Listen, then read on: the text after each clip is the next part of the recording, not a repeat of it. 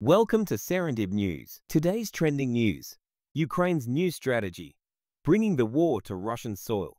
Despite two years of war, Ukraine has surprised many by taking the fight into Russia's Kursk region, aiming to ease pressure on Donetsk and demonstrate its resilience to allies. Russia responded with reinforcements, regaining some territory and evacuating civilians. This bold move seeks to secure more Western support, but comes with heavy losses and uncertain outcomes, raising concerns about the conflict's escalation and Ukraine's ability to sustain such operations.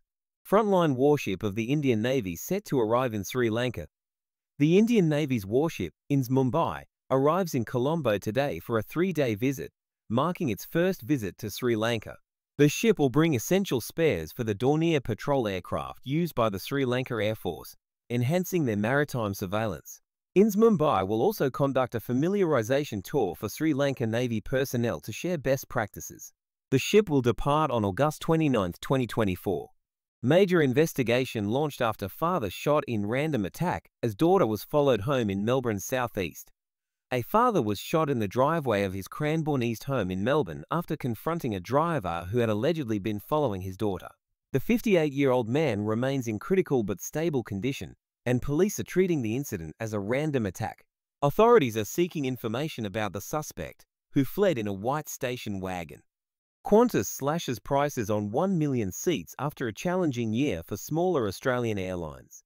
Qantas is offering up to 30% off on 1 million tickets for travel from October 2024 to July 2025. The sale covers 85 routes, including major and tourism destinations. This comes amid a tough year for Australian airlines, with Bonza and Rex going into administration. Qantas remains top in punctuality, but has dropped in global rankings. Family and friends bid farewell to Herald Sun journalist Sam Landsberger. Sam Landsberger, a 35-year-old Herald Sun journalist, was remembered by hundreds at his funeral after being killed in a truck accident in Richmond. His parents praised him as a caring and joyful person. The truck driver, charged for refusing a blood test, is due in court on September 19.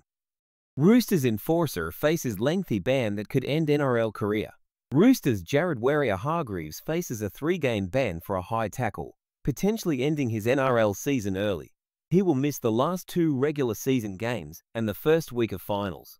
Teammates Victor Radley and Daniel Tupou face fines for similar offences, while Sharks Jesse Ramien and Rabbitohs Cameron Murray are also charged, with Murray set to challenge his at the judiciary. Are you looking to grow your business? Promotions start from $9.95 per day. Call us on 0488 for more information.